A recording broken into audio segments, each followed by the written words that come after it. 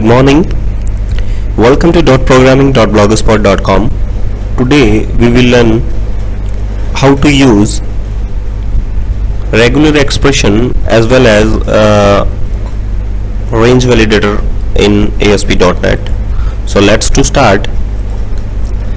Uh, in previous video tutorial, I have already learned uh, required field validator and the compare field validator. So today I'm talking about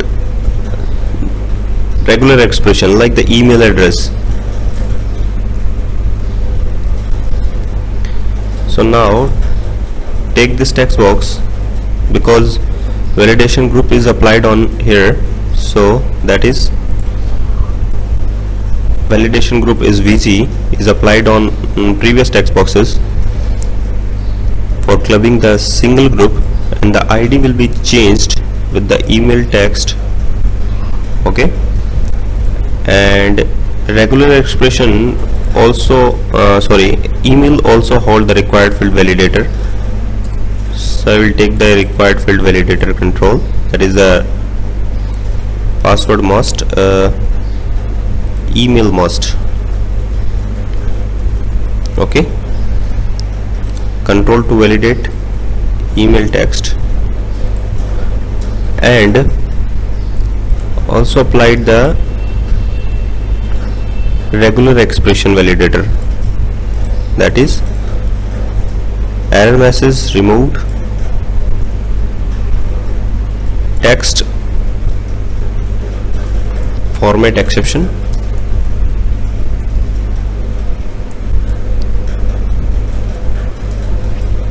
control to validate is email text fore color is the right validation group is a VG okay? And that is a data expression and validation expression. So uh, here we use the data sorry validation expression. And the next video tutorials I will explain the what is the expressions okay? That is a validation expression is given formats friends phone number friends postal code. Here I will use internet email address okay? Now save it and run it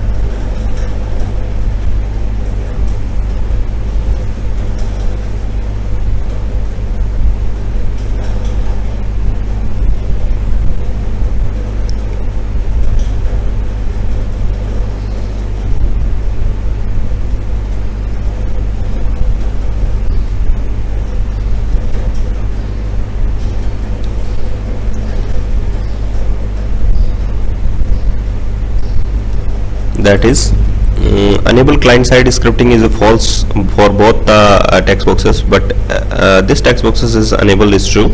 So password is jacob. Also is jacob. And the email is jacob. Ah that is yeah that is. Format exceptions. Enable client side scripting is valid. Okay? Uh, where we click on gmail and that is format. Simply uh, do not use to gmail is necessary. It is zeek.com is also valid. So regular expression validators hold the, some characters before the at the rate. Uh, use the periodic signs. And after that domain. After the at the rate sign. That is the format of email. Okay? Now also here we use range validator control.